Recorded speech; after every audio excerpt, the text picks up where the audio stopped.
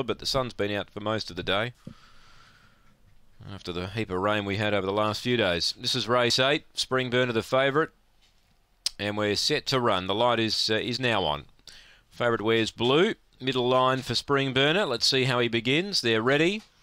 Off they go. Spring Burner. Oh, he began okay. He's trying to push on, but there's plenty of speed around him. Marley J, meanwhile, got a brilliant start, and Spring Burner's back in fourth. So Marley J, she skips away with that terrific early speed, led by five. Holy Rain in second gives chase.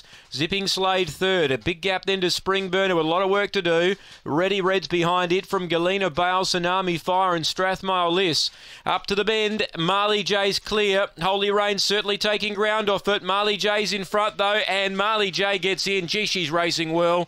Holy Rain second, a gap to third, either Zipping Slate or Spring Burner. He got Polax early, the favourite.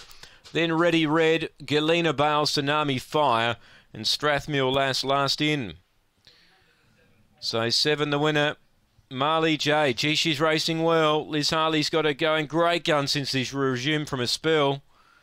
She showed a lot of ability last prep she went for a long spell and then she's come back and she's come back real good 30 at 89 it's a new pb she's exciting marley j. She's got that early zip and that wins you a lot of races and she's getting stronger. That's a terrific win. Five second holy rain she's no slouch.